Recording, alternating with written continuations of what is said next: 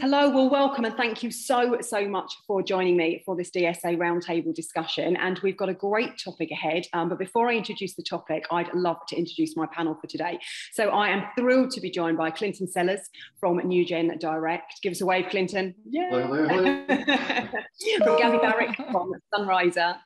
Give us a wave. Yeah. And Ros Simmons from Monat. So thank you all so much for joining me. So we've done a couple of these and they're always so fascinating to hear how everyone, you know, what they're what everyone's up to.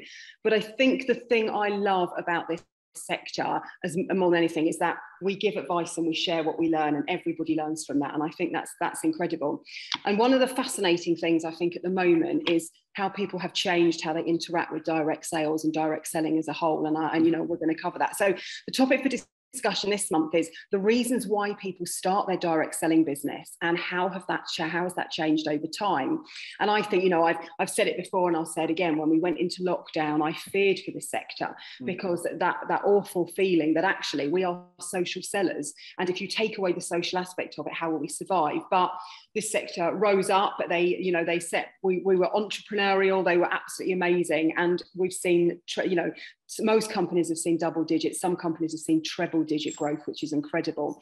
What, what i do really what i find fascinating is actually i think take it back two years in my humble opinion, most people joined as a, a kind of a side hustle, a bit of extra money, um, some way of earning things. But having seen from a sector perspective now, we're seeing more and more people set their careers up. You know, this virtual mm. way of working is very acceptable. Um, people suddenly feel that they don't want to go back to nine to five, Monday to Friday, and that they need that more, you know, transient, more um, more lucid way of working. So I think for this sector, we've got, you know, we're going to have some very, very exciting times ahead. But I'd love to know from your individual businesses if you share what we see kind of holistically, or whether actually you're just a little bit more, um, a little bit more into, uh, you know, into the nitty gritty of what you see. So, Clinton, if I can come to you first, um, tell me what's, uh, yeah, tell me what's been happening at NewGen. A lot. Um, I mean, I think what you've just said is that we've been, our industry's been the saving grace for so many people in the last year. Mm-hmm. Um, we had a massive change in our business in 2018. It was it was huge, um, and I'll, I'll mention that in a second. And then again last year, we saw a huge shift on how important our industry is and why people were joining us. Um, just out of interest, I did a, a, quick survey over the weekend and actually asked our distributor base the reasons why they joined. And um, the we, we make uh, health products and well-being products, so it's no surprise the top responses were to help people's health, help other people's health, and then it's followed by earn extra money to boost income, start a business with integrity, um, uh, people who saw results as a customer decided to come in to earn a residual income to have instant pay. So those uh, kind of responses, a lot of those were what I would expect or would have expected many years ago. Uh, I've been in this industry for 32 years, so a lot of those core reasons have been around for a long, long time. I asked them um, also, second question, what's the main reasons why people start uh, building a team in your business? The number one response was to earn extra money. Um, and then we asked a third question, which was how our business has changed over time. Has it changed during the pandemic and etc.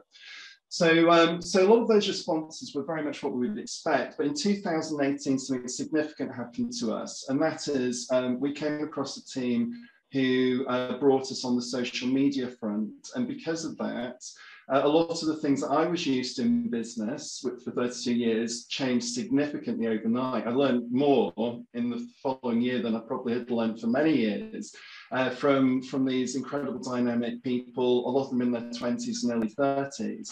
And um, and because what happened, our business um, almost doubled over just a three to four week period. It was absolute, uh, it was almost chaos to a certain degree because it happened so quickly. Um, but because of what happened, uh, we realized how amazing our industry can be on social media and how powerful it is and what a truly home-based business it is, it is. And thank goodness, because in the last year, so many people were able to carry on and not just carry on, but to grow and also to give other people uh, security as well. Uh, we had a whole host of people contact us uh, last year, and I'm sure um, everyone else on here had the same. um, saying thank goodness um, for your business. We were able to pay bills that they didn't know how they would have been able to do otherwise.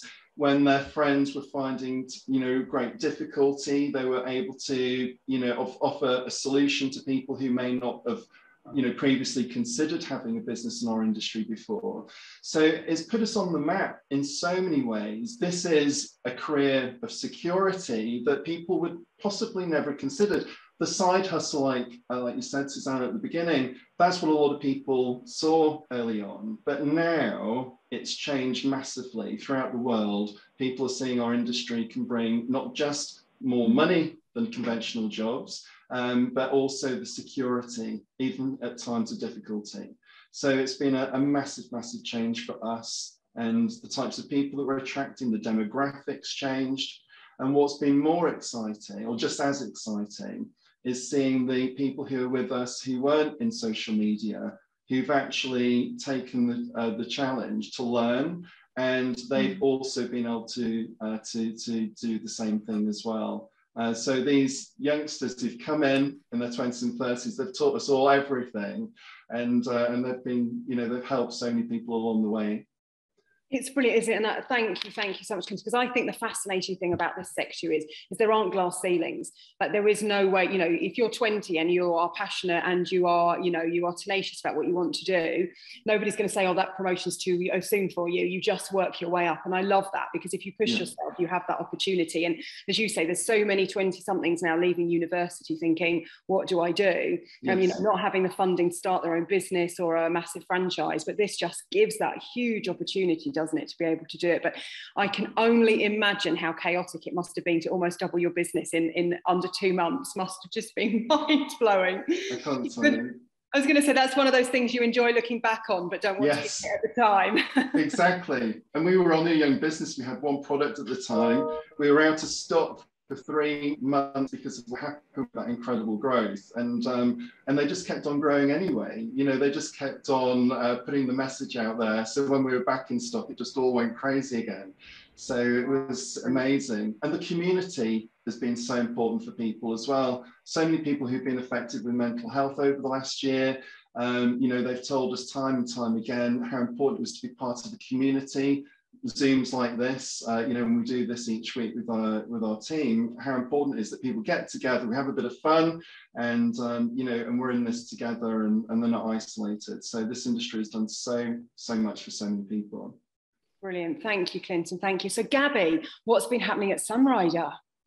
Well, I could probably echo what Clinton was just saying because uh, our business is a wellness supplement and nutritional um, business and everything is very green, very chemical free. So um, going back probably to 2018 where things were were going really well and people were focused on more green, on more um, clean eating and wellness and mindfulness and all this, you know, during the pandemic, that has actually accelerated.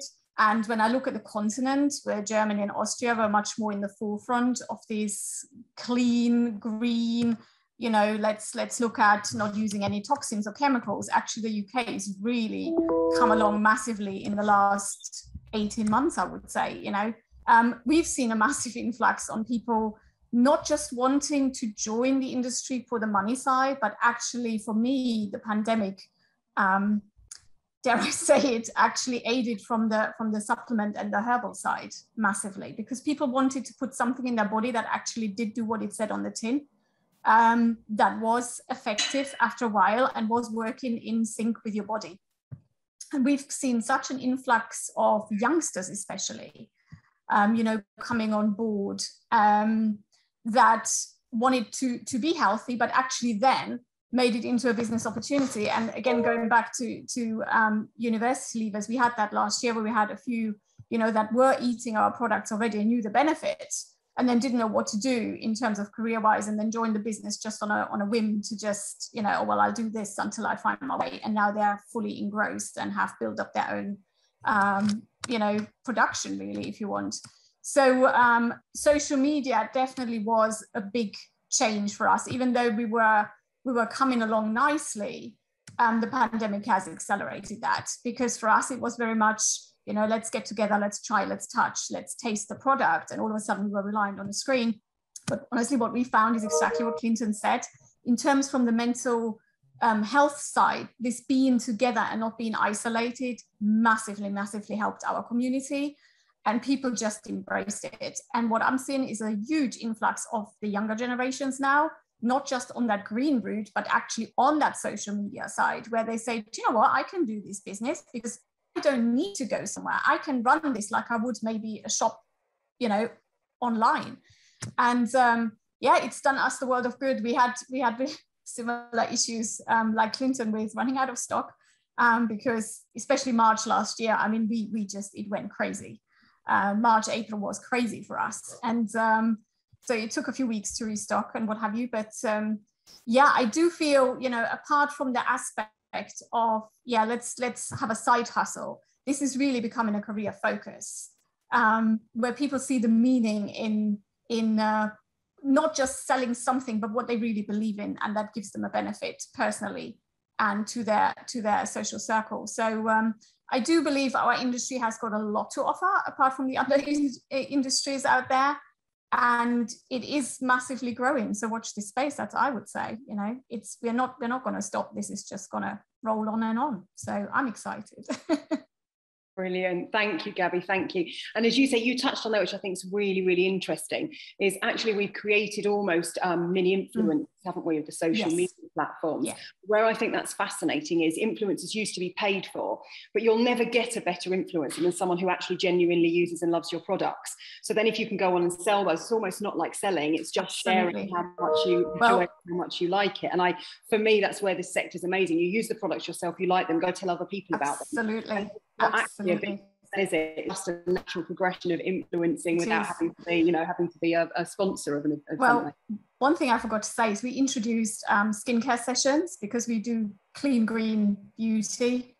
Um, we introduced Wellness Wednesdays, funnily enough, Clinton. So we, we talk about, we go on our social media sites and we talk about mental health and well-being and mindfulness and the things you can do. And it's not product related. If, if you have the product, you might fuse it in, but it's mainly a discussion and then you get some experts on it and then we do fitness fridays which uh, last friday we did a it actually exploded into a global session with 56 countries which was rather hilarious so uh, you know it really has built not just you know from our europe business it has gone across the borders and it, it is engaging people and as you said Susannah yeah you don't need I don't want to say you don't need influencers anymore, but everybody's becoming a little mini influencer now in their own right, you know, by doing the things that they actually believe in and are passionate about. And I think that's what it's all about. Brilliant, brilliant. Gabi, thank you so much. So, Ros, tell us, tell us what's been happening at the wonderful world of Monat. Well, um, gosh, very similar in terms of growth to, to Gabi and Clinton. Um, I think probably one of the main differences is we went into the pandemic already a social selling company. You know, that has always been our big focus. Um, so we were sort of set up already. We had a huge advantage because it just meant that we could we, we just sort of carried on and escalated did zooms to death as we all did. Um, but at the same time we brought in um, we brought in different people. Um, we brought in a lot of hairdressers a lot of beauty therapists who clearly couldn't work. And what i'm so delighted about is many of them have stayed. Obviously they can go back to their careers but they have realized they can earn a significant amount of money um, in our wonderful industry. And Susannah, as you said, there are no glass ceilings for for mm-hmm. people. Um, you know, I, I asked my team, similar to you, Clinton, in terms of, you know, what are the main reasons why people join? And some of the reasons are having a business without a boss is definitely really, really important. Um, and having an online business where you can work from anywhere. Um, mm-hmm. it's that I think that is quite a significant one, particularly for ambitious millennials who really do want to travel. They want to travel. They don't necessarily want to be stuck somewhere mm. in COVID. They want to be able to travel and work from anywhere. And I'm seeing that more and more. But I think, in addition, what our industry really does with these incredible, talented, ambitious, ambitious millennials, um, it can be lonely for them. And I think what our company and all our direct selling companies does it invokes a sense of community and a sense of belonging. Um, we do, uh, as, as a lot of direct selling companies do, we do a lot of online training, leadership skills, um, really how to manage a team because a lot of people suddenly have got a massive downline and they're like oh my goodness what do i do because they they've never had those you know life skills taught to them. So that we spend a lot of time and a lot of effort helping them you know work through people problems helping them work out you know how they're going to structure their businesses as well. So uh, you're right the industry has changed for the better um, very social driven and i think it will continue to be social driven. Mm-hmm. um, what has been it was a real risk for us um, a couple of months ago um, we announced that we were going to go into Spain and Lithuania. And I have to say, uh, we were all, all the senior management were quite worried about going into a country that we couldn't physically be in. We had great sales directors, but we physically couldn't be in. And all we did were Zooms and, you know, opportunity Zooms every, like almost every day. And we um, in in Spain, for example, we had two and a half thousand people join us in month one. That was like three times our forecast. In Lithuania, almost 500 people joined, and Lithuania mm. is like smaller than Ireland. Mm. So it just shows the opportunity, and people are looking for opportunity. And I think companies like ours, where we're brave, we're ambitious, we want to go into countries where people are crying out for our products. Mm-hmm. Um, that's really important. And I think the final one that wraps it all up is product is key. You know, mm-hmm. product mm-hmm. is really important. People join because of great products. And I'm I've I've always worked in direct selling, but I've also worked in product development. And I'm so proud of our industry that we've all upped the game on the quality of our products. They are comparable and more to what is out there on the high street and in department stores. So, yeah, proud to be in this industry and proud to see how our industry is just going to take the market by storm and continue, particularly in Europe. Absolutely. And Ros, I couldn't agree more. I think the awards that are won by some of the DSA members are phenomenal. You know, up against some of the best makeup brands and the best hair brands, the best healthcare, well, you know, we can often outstrip the market. And I think, you know, we we probably don't shout about the quality of the products enough. And it's weird that when I talk about direct selling to people, it's always that, you know, all that dark art of what does all that mean? Like I keep saying it's a direct channel to market. That's all this is. It's a sales channel, it's a retail way of selling, it's just direct to the consumer. And it's as simple as that. You can can take out all of the other mumbo jumbo and all of the other bits with it. It's just a different way of selling. Well, 100% right. And, and actually, I often refer to us as a beauty brand first and foremost, who just happens to sell in a direct selling environment. Um, it would be amazing on the direct selling website to have all the awards that we've won. I mean, there's so many Pure Beauty, Green Awards, you name it. It would be amazing if we could all pop um, the amazing shareables and awards. You know what? That's that a brilliant fun. idea. I've written it down. We will we will do that straight away because that's a great idea because it is something we shout about. And we actually have just started looking at the charitable work that goes on as well and mm-hmm. culminating mm-hmm. all of that together because you know some of the research that we pulled together during lockdown, mm-hmm. um, there were you know millions and millions of pounds given from from the direct selling from our members. We make such a difference. We as an mm. industry, we we really are a power of good, and um, you know every, every direct selling company has its own charitable gratitude program. And um, again, it's another reason, it's a sense of belonging and a sense of community that keeps our industry strong. What, where I think it's interesting is all three of you have kind of picked up on that Generation Z because I'm, I'm sadly old enough that in my day, you know, you got to a certain point, you got a sensible job, you bought a house, you paid your mortgage, and you didn't go off traveling. You didn't, you know, you found roots and that's what you did. And then from there, you sold that house and moved up the chain. But actually, now house prices are so unachievable. I think Generation Z just know they won't buy, you know, they won't do that. So then they want a job that moves with them. And I mean, this sector is absolutely ripe to help those guys do that, isn't it? And I think the mm. pandemic where you're trapped in one country and you're away from family, but you can still see people and you know the whole mm. infrastructure that just allows you to move your business with you. Um, I, I think we'll you know we'll just set another trend coming up to keep keep the wave of success going. So I'm going to summarise by saying, A, first of all, thank you very, very much indeed. It's always really, really interesting to hear everybody's views. And I especially like it when they're all similar because it just shows that, you know, the sector does mm-hmm. move in one way and it's, uh, it's just, just selling different excellent products. But what I love as well is I've yet to do a roundtable where three words don't come up. And those three words are always, we always provide training we always mm-hmm. give support but most of all the one word that's echoed over and over and over again is community. And i love that from both from both from the dsa and their members being a community to the you know the, the members uh, consultants being communities to you guys all being a community. It just feels like um, you know it's an incredible place to be in. So thank mm-hmm. you very very much indeed. It's fascinating to talk to you all I'm hoping very soon we'll be able to actually get into a room and do this face to face, and uh, we'll certainly be having some awards. So the DSA are actually going to do some awards coming up um, just to celebrate the consultants and the biggest achievements in oh, lockdown. So watch out for that announcement coming soon. But we really think we should recognise the consultants that have gone above and beyond in this difficult period of time. Absolutely. So we should uh, amazing that soon.